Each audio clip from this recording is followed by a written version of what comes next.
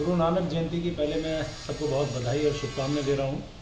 और गुरु महाराज के प्रकाश पर्व पर जिस प्रकार से हम सब जानते हैं कि उस समय जो कुरीतियाँ व्याप्त थी, ऐसे टाइम पर गुरु महाराज जी का पदार्पण हुआ था।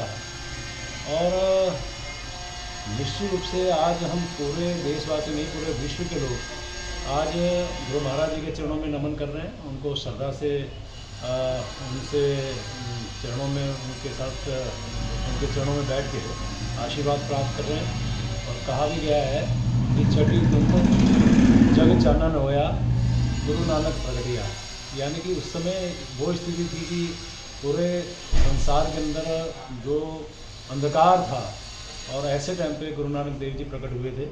और उनके बारे में तो अनेकों प्रसंग हम लोग कह सकते हैं। और जिस प्रकार से उन्होंने हिंदू, मुस्लिम जात पात इससे दूर रह के और एकता के भाव में उन्होंने सबको जोड़ने का प्रयास किया। ऐसे गुरु महाराज जी के इस प्रकाश उत्सव पर मैं बहुत बधाई और शुभकामनाएँ